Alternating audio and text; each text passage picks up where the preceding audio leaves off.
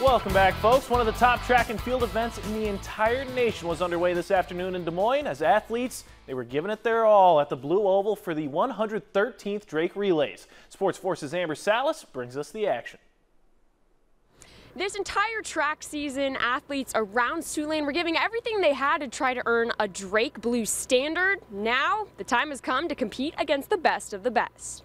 We'll start things off on the track in the high school boys 3200. Sioux City North's Gabe Nash running at the Drake relays for the third time. He would kick it into gear trying to catch Pella, but would finish in second with a PR and school record of 907.94. Felt good. It was it was a tough one. I kicked a little early. I think I could have had it, but I just kicked too early.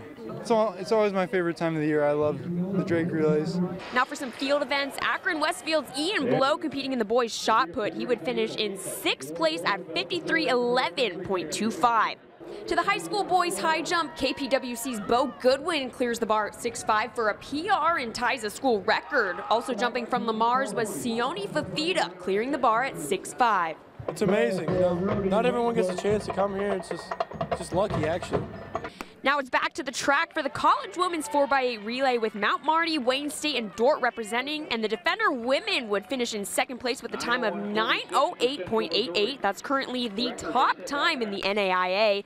The Dordt men also representing on the men's side as well in the 4x8. The defender men finish in seventh with a time of 741.28. Also representing out in the field for the girls discus was KPWC's Ali Schweitzberger finishing in fourth place at 134.11. It's pretty awesome. I'm really excited, like happy that I just got to come down here and all that.